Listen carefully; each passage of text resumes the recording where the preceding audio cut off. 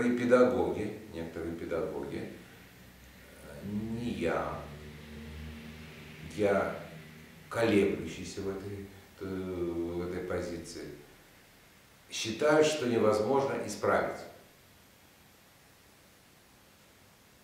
Это чувство ритма, как ни странно. А, не музыкальный слух, не путайте, а чувство ритма. Вот. Музыкальный слух, его можно воспитать, его можно каким-то образом развить, и его развивают, и люди начинают петь, люди начинают подпевать. Ведь драматическому актеру не обязательно петь. Ну, посмотрите на Светлана Сергея Светлакова. Ведь он четыре года назад вообще не мог попасть ни в одну ноту. Недавно я смотрел его клип с Мурзилками International, где он уже попадает в ноты, и где он что-то пытается даже пропеть, протянуть. Человек, который вообще никогда э, медведь ему, там не то, что медведь, там два уральских медведя ему наступили на оба уха. Это развивается. А вот чувство ритма большинство педагогов считают, что невозможно развить. Что имеется в виду под чувством ритма? Под чувством ритма имеется в виду, как человек внутренний чувствует э, партнерское биение, словесный, э, не может говорить быстро-медленно, не чувствует, где нужны перепады в движении, двигается в одном ритме, вплоть до того, что может сшибать мебель на сцене. И вроде все у него есть, вот все у него есть, и внешние данные, и пластика, и голос, и диапазон, и дикционно он великолепно. Все. А вот чувства ритма нет. И в словах он бухает, бухает, бухает, логические ударения неправильно ставит, не может закинуть партнеру крючочек, тот поймает петельку, соответственно, как это вот говорится, не может ухом, даже не ухом, а сердцем почувствовать правильный ритм предложений, правильный ритм диалогов, правильный ритм мизансцены, правильный ритм перемены географии сценической, это опасно. Это не только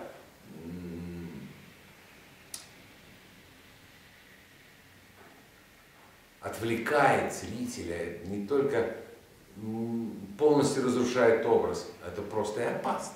Такой человек может вас шпагой проткнуть, на сцене. Такой человек может нанести травму, потому что он не чувствует партнера, он, не чувствует, он живет в другом ритме, в одинаковом, он монотонен. К сожалению, я считаю, и большинство педагогов, что это неисправимо. Неисправимо. Со мной многие спорят, со мной многие спорят. Но я остаюсь при своем мнении – или, по крайней мере, в рядах колеблющихся.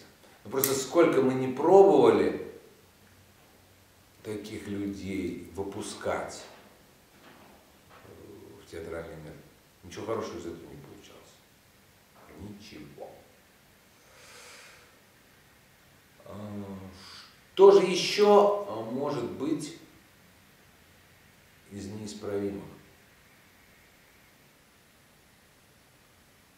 Полное отсутствие эмоциональности. Но все равно вот здесь, я считаю, это дело наживное.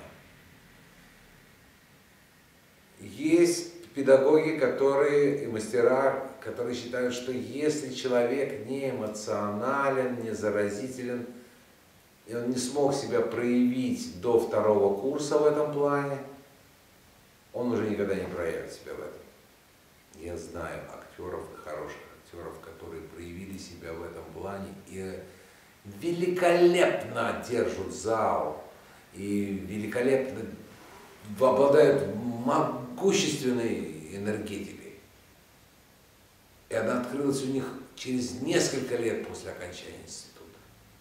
И зал не то, что затихает во время их монолога, не шуршит фантиками и не боится кашлянуть. А у зала мурашки по всему телу бегают от энергетики, которую перекидывает через рампу этот актер, которого на втором курсе хотели отчислить якобы за неэмоциональность и незаразительность.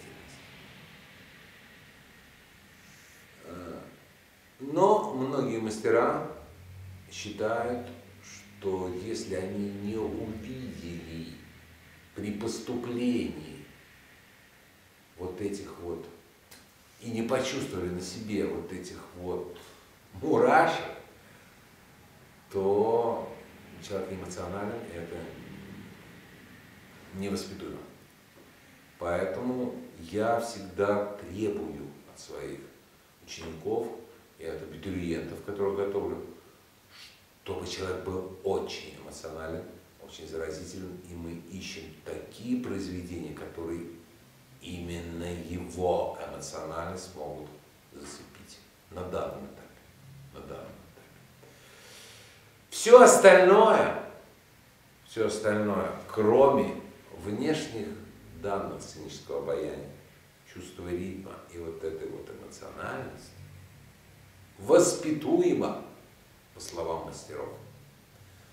И голос, и убирание акцентов и говора, и всевозможная пластика, и всевозможные дефекты э, речи, голоса, вокала, слуха и т.д. и т.п. Это все убирается, все это воспитуемо, все это может быть, если вы трудолюбивы, если вы будете работать по 100 часов в сутки. Так говорят мастера. Соответственно, вот за эти все пункты и ставятся оценки. Туда входят и внешние данные, и чувство ритма, и эмоциональность, и голос, и э, речь, дикция выставляет в визе оценочки, зная, что что-то воспитуемо, что-то невоспитуемо, и уже останавливаясь на этом, людей пропускают дальше. А там уже на конкурсе сравнивают, выбирают и так далее и тому подобное. Но если первая графа стоит ноль если дамы, то человек дальше не прав.